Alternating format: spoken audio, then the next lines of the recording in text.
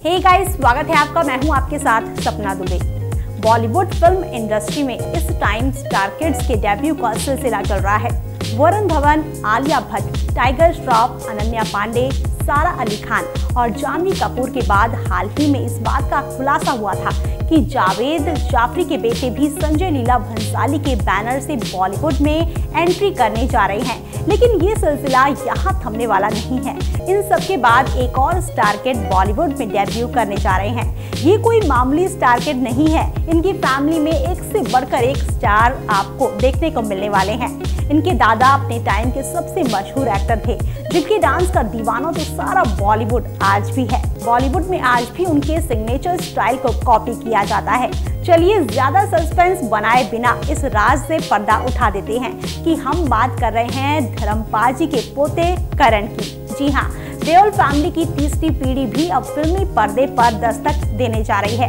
बॉलीवुड में अपने ढाई किलो के हाथ वाले डायलॉग के लिए मशहूर सनी देओल के बेटे करण देओल की फ़िल्म की चर्चा तो पिछले काफ़ी टाइम से हो रही है, लेकिन फ़िल्म की एक भी झलक अभी तक सामने नहीं आई थी। लेकिन अब हम आपको बता दें कि सनी देओल के लाडले करण देओल की पहले फ़िल्म की पहली झलक सामने आ चुकी है। फ़िल्म का टीजर सामने आया है। फ़िल्म का टीजर काफ़ी धमाकेदार है। वैसे फैंस के दिलों में अपनी एक्टिंग और शर्मीले नेचर से एक अलग पहचान बनाने वाले सनी देओल के बेटे करण देओल के बॉलीवुड डेब्यू को लेकर सभी काफ़ी एक्साइटेड थे। करण की डेब्यू फ़िल्म पल पल दिल के पास में करण के साथ शहर बाम्बा लीड रोल में नज़र आने वाली है। करण की तरह ही शहर भी इस फ़िल्म में अपना बॉलीवुड डेब्यू करने जा रही है। इस फ़िल्म को लेकर फैंस इसलिए भी ज़्यादा एक्साइटेड हैं। क्योंकि इस फ़िल्म को बेटे करण के लिए सनी देओल खुद डायरेक्ट कर रहे हैं।